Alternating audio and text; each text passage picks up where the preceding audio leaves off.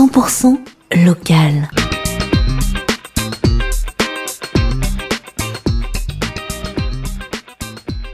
Comme de tradition, le collectif 8 mars mené par Femmes Solidaires va proposer un événement pour le 8 mars, journée internationale des droits des femmes. Au programme cette année, un zoom historique sur le parcours d'émancipation des femmes de 1968 à 2018. Pour en savoir plus sur cette soirée qui débutera à 19h30 dans la salle du pavillon à Mâcon, j'ai le plaisir d'accueillir dans notre studio Anne et Martine pour Femmes Solidaires. Bonjour à toutes les deux. Bonjour. Tout d'abord, si vous le voulez bien, un mot sur euh, le collectif 8 mars qui regroupe, si mes informations sont bonnes, cette association maconnaise. Quand est-il né et avec quel objectif? Il, a dû naître il y a 7-8 ans, avec l'objectif de ne pas travailler en tant qu'association Femmes Solidaires toute seule, mais de regrouper, regrouper des associations qui sont engagées d'une manière ou d'une autre euh, pour euh, lutter pour le respect des droits des femmes au plan local, national et international. D'où le fait que dans notre collectif, il y a aussi Amnesty International et Artisans du Monde. Alors évidemment, le collectif est actif pour cette journée très symbolique euh, qui est le 8 mars, mais le combat pour les droits des femmes, eh bien, c'est un combat quotidien. Organisez-vous d'autres actions en marge du 8 mars? Ben, tous les ans, donc il y a une conférence qui est organisée par Femmes Solidaires. Donc l'an dernier, il y en a eu une au mois de novembre. Cette année, on est en train de réfléchir sur le sujet et il y en aura une sûrement, enfin, dans le troisième euh, ou quatrième, euh, trimestre. Voilà. On s'oriente plutôt vers des sujets type laïcité, des choses comme ça. Voilà. Mais il y en a tous les ans au moins une. Anne et, Martine, avec le hashtag Balance ton port, la parole s'est fortement libérée cette année sur le harcèlement, même si cela a suscité, il faut le dire, nombre de débats contradictoires, y compris d'ailleurs euh, chez les femmes. Pourquoi avoir choisi de ne pas rebondir sur cette actualité? Alors, c'est un combat de tout le temps de femmes solidaires, hein, depuis euh, sa création qui était avant euh, l'Union des femmes françaises, par rapport au harcèlement des femmes et les, inégalités entre les hommes et les femmes. Euh, c'est pas d'hier, c'est pas depuis cette année que c'est un combat euh, qui est à mener. Il est toujours à mener. Ce qui est intéressant, c'est que la parole se libère un peu plus, que les gens s'expriment, les femmes s'expriment, mais on n'avait pas l'intention de rentrer dans ce débat parce que on le fait tout le temps et on avait peur que ça soit euh, pas pris, mais que l'on reste que sur ce sujet-là, alors que le harcèlement des femmes, il y a aussi la violence au travail, il y a beaucoup de choses, et on reste que sur l'aspect sexuel, et nous, on voulait aussi élargir sur d'autres aspects. Brigitte Bardot, hein, ou encore euh, Catherine Deneuve, qui faisait pourtant partie euh, des 343 salopes, se sont positionnées contre ce fameux hashtag Balance ton porc. Qu'en avez-vous pensé, vous, en tant que femme solidaire, qui vous battez depuis longtemps sur ce sujet?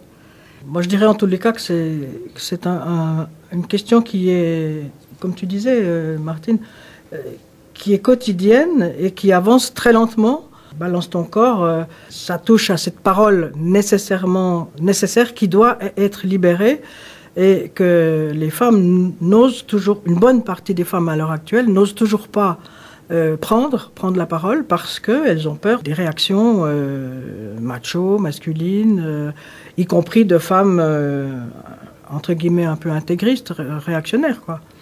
Euh, c'est un combat de tous les jours. Et alors Catherine Deneuve et, et Brigitte Bardot, c'est vrai que j'ai pas, j'ai pas trop suivi parce que parce que ça m'intéresse pas. vous parliez de combat quotidien, Anne. Quels sont pour vous les sujets les plus préoccupants aujourd'hui en matière de droits des femmes, que ce soit en France ou bien dans le monde hein? En France, c'est à, travail égal, salaire égal. On en est toujours euh, on, en est toujours loin euh, dans beaucoup de domaines. Dans la fonction publique, on pense que tout est réglé, c'est pas le cas. Euh, la, comment on dit, les nominations, les, l'avancement de carrière. avancements de carrière est beaucoup plus lent pour les femmes que pour les hommes. Donc, c'est des, des, débats qu'on a souvent entre nous.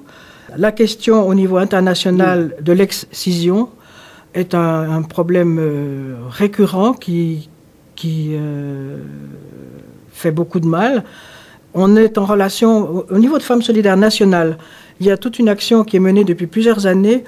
Euh, c'est en Éthiopie, auprès de la, dans une tribu, je crois, qui s'appelle les, les Afars, et qui depuis plusieurs années sont soutenus par un médecin qui les aide, un, Français, qui est allé plusieurs fois pour faire comprendre aux femmes, mais c'est un lourd travail, avec les femmes du coin, il les a formées pour faire comprendre, y compris d'ex-ex-ciseuses, que c'est pas comme ça qu'on fait avancer euh, la, libération de la femme, que c'est une grave entrave au corps humain et que euh, il faut que les hommes acceptent que, les choses se passent autrement et que la femme est à l'égal de l'homme.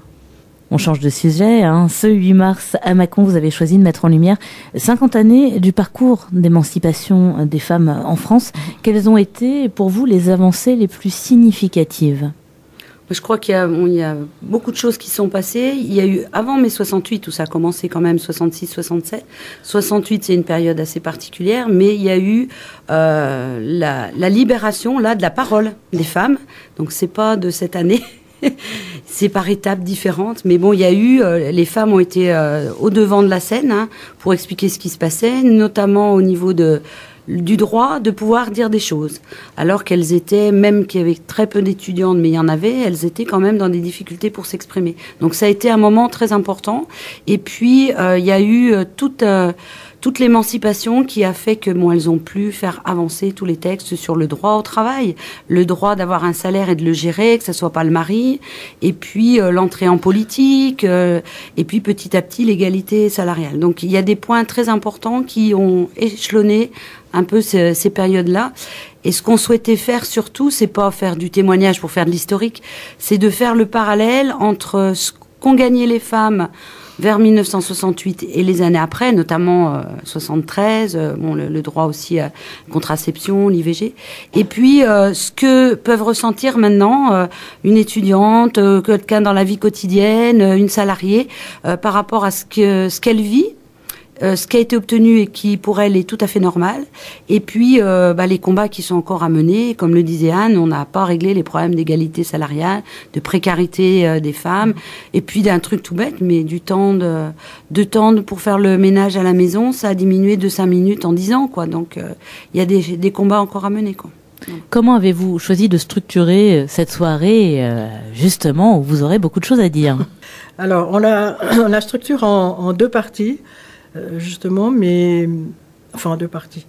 Entre, on met en parallèle à partir de la parole d'une salariée, d'une étudiante, d'une, qu'est-ce qu'on a dit, une ouvrière, on met en parallèle leurs témoignages. Comment elles ont vécu 68 en tant qu'étudiante et une étudiante d'aujourd'hui, quel regard elle a sur 68 euh, pour un peu qu'elle en ait un, parce que parfois elles sont jeunes. Euh, donc, euh, plutôt que de, séparer 68 et 2018, on a décidé de faire témoigner en, même, en complémentarité euh, une salariée, une étudiante, une ouvrière, par rapport à comment elles ont vécu 1968, en quelques mots, et puis comment elles, le vivent, elles vivent maintenant en 2018. Tout cela parsemé d'une, pas parsemé, mais en complémentarité avec une, euh, une vidéo où l'on présentera, c'est classique, mais c'est toujours euh, affolant de le voir, euh, comment la femme est vue dans la publicité. Les publicités de 68, les publicités, de 2018, les thèmes sont les mêmes, le regard, l'image a changé, mais le, fond du problème est toujours le même la femme objet, la femme euh, qui fait de la pub pour la voiture, euh, etc., qui euh, différentes choses. Donc il y aura une exposition, chaque, association présente expliquera en, un ou deux panneaux comment elle a, vécu ou comment elle vit au niveau de, ses, objectifs de leur association 68 et 2018. C'est accessible à tout public, euh, y compris aux jeunes publics qui n'y connaissent pas forcément euh, grand-chose. Ah, oui, c'est c'est même important, essentiel que le, jeune public vienne. C'est pas pour euh, écouter l'historique ou des témoignages, mais c'est pour faire justement face au parallèle de, de, ce que vivent les gens et ce qu'ils ont vécu, voir que bon, les il y a des avancées, puisqu'il y a eu des luttes, il y a eu des avancées, mais il y a aussi des choses à conquérir et que les jeunes sont concernés par euh, différents problèmes qui peuvent euh, arriver pour eux, euh, enfin pour elles, on espère qu'il y aura beaucoup de femmes. il, y a, une troisième partie qu'on va essayer de, développer aussi, c'est avec Amnesty International et Artisans du Monde, donc en faisant un petit, une petite coupure, c'est que euh, là on va parler surtout des problématiques françaises. 1968 hein. c'est en France, hein, même si ça a eu un écho international sur beaucoup d'autres luttes dans d'autres pays, mais euh, Actuellement, on a des avancées importantes en France par rapport aux droits des femmes. Faut pas le nier, c'est un combat. Ça a été gagné sur certains plans et c'est très bien. Mais il y a des pays où euh, ils en sont peut-être. La question qu'on se posera et justement à cette soirée, c'est est-ce qu'il n'y a pas des pays actuellement qui, pour les femmes, en sont encore même en 1968 comme nous ou même avant? Et donc, euh, on souhaite qu'Amnesty International, Artisans du Monde, nous, nous expose, nous explique qu'est-ce qui peut se passer dans certains pays actuellement par rapport à, la condition faite aux femmes notamment celles qui, euh, pour Artisans du Monde, donc, euh, on, se sont pris en main pour des coopératives, pour mhm. pouvoir avoir un salaire, être libre et pouvoir euh, gérer leur vie. Et puis, dans certains pays, peut-être comme actuellement la Pologne, où on, on, a un certain retour en arrière par rapport aux droits des femmes, notamment sur l'IVG. Et puis, des pays où ça n'existe pas et on est condamné. Vous parliez des avancées. Hein. Pour finir, un petit mot sur le secrétariat d'État chargé de l'égalité entre les femmes et les hommes qui met en œuvre la politique d'égalité depuis juin 2017. Est-ce que euh, c'est pour vous une bonne nouvelle après la suppression euh, du ministère hein, dédié à cette tâche en 2014 et puis son rattachement euh, finalement au ministère de la Famille en 2016 alors déjà, c'était un, un, choc parce que par rapport au, pro, enfin, au programme du président de la République qui mettait en avant euh, le droit des femmes, l'égalité et tout, euh, il n'y avait plus de ministère. Oui, vous parlez de François Hollande. Voilà. Donc euh, il y a eu quand même un certain recul. Après les, les grandes déclarations qu'il y a eu de Monsieur Macron, donc on s'est dit par rapport, mais en réaction à ce qui s'est passé aux États-Unis et à la, parole qui s'est libérée, euh, bon, a dit que c'était une priorité euh, française hein, euh, par rapport aux droits des femmes, mais on voit pas trop venir grand-chose derrière, donc on est assez inquiet. On, on pense qu'il y a des choses qui vont se, se mettre en place, mais ça tarde. Il y a y a des prises de position qui, je pense, ne font pas trop avancer les choses pour l'instant. Voilà, il y aura donc de quoi débattre le 8 mars avec le collectif 8 mars. Rendez-vous à 19h30 dans la salle du pavillon à Macon pour cette soirée intitulée 1968-2018 Où en sont les femmes? Merci beaucoup Anne et Martine. Merci. C'était 100% local sur Radio Aléo.